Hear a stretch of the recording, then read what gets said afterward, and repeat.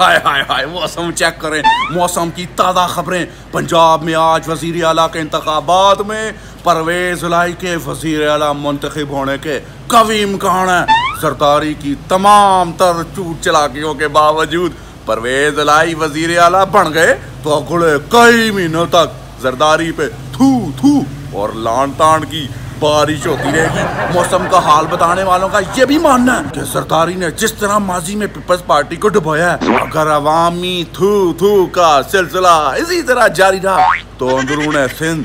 लानत तो का शदीद खदशा है